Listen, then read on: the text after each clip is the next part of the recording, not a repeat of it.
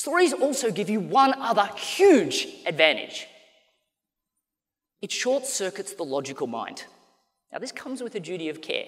Please don't sell a product you don't believe in. But when you tell a story, it short circuits the logical mind. Now, just so you know, the logical part of the brain is the part of the brain saying, that'll work for me, that won't.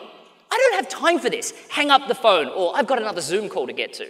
When you tell a story, it literally short circuits the logical brain and you speak directly to the emotional mind, which literally goes, story time, and it listens.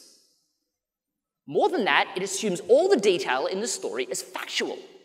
It hears all of that information and just goes to the end, the moral. And if the moral of the story is we worked with someone just like you, or we worked with someone that wanted what you wanted, and the moral is that we got them to an amazing outcome, or that we supply time and time again when others don't, or whatever the moral you want is, you'll get them to just nod their head and agree.